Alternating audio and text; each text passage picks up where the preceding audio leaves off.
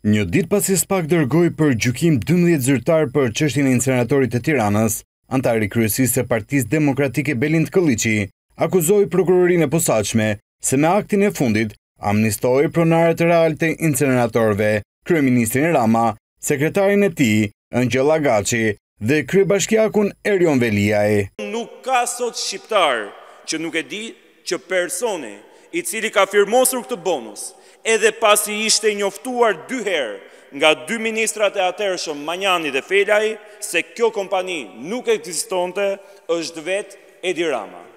Janë Engjëll Agaçi dhe Edi Rama persona drejtpërdrejt përgjegjës për këtë shkelje flagrante. Edhe pse nuk ka sot shqiptar që nuk e di se është Erion Veliaj ai, i cili fillimisht propozoi këtë projekt dhe pas refuzimit kategorik të dy ish-ministrave të Financave të kohës, Cani dhe Ahmetaj, vetë Erion Veliaj firmosi më njëzet e shtatë mars të vitit dy mijë e shtatëmbëdhjetë miratimin e këtij koncesioni. Në vazhdën e këtij denoncimi përpara ambienteve të spak, shefi i organizimit në PD Klevis Balliu, dorëzoi dokumentin ku rezultonte se Veliaj ka firmosur në emër të Bashkive të Qarkut për inceneratorin e Tiranës. Kjo sipas tij, e ngarkon me përgjegjësi direkte kryebashkiakun e Tiranës. Të vetmit që po vihen masa arresti janë njerëzit dhe ushtarët e kësaj afere korruptive. Kjo është arsyeja themelore pse afera korruptive e inceneratorëve vazhdon, pse qytetarët vazhdojnë të paguajnë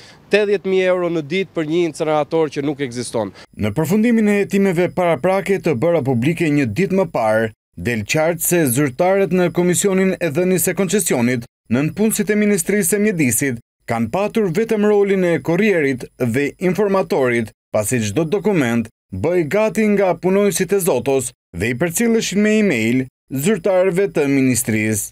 Spak thotë se Komisioni i Dhënies së Koncesionit nuk mori në analizë të gjitha përfitimet ekonomike të operatorit që bëri ofertën, ku ishte pjesë edhe Klodian Zoto. Kjo bëri që kosto njëzet e nëntë euro për ton të ishte e lartë dhe në favor të koncesionarit. Dokumentet standarde të koncesionit nuk rezultojnë të jenë hartuar dhe miratuar nga anëtarët e komisionit në kohën që këto dokumente janë ngarkuar në sistemin e prokurimit elektronik, pasi rezulton se nga ana e komisionit nuk është mbajtur mbledhje apo procesverbal për hartimin e dokumenteve standarde të koncesionit. Rezulton se dokumentet standarde të procedurës së koncesionit janë hartuar nga punonjësit e shtetasit Klodian Zoto, pronari i shoqërisë Integrated Technology Services, SHPK, pjesëmarrëse në këtë procedurë koncesioni si aksioneri i shoqërisë holandeze Integrated Energy BV. Zyrtarët e Ministrisë së Mjedisit akuzohen gjithashtu se nuk përgatitën një raport paraprak kur miratuan dhënien e bonusit tetë për qind për operatorin ekonomik, më pas Bonusin e miratuar nga Komisioni, del se Lefter Koka ia ka përcjellë Këshillit të Ministrave. Ndërkohë SPAK njofton se hetimet për inceneratorin e Tiranës, vijojnë për fashikujt e tjerë të dosjes.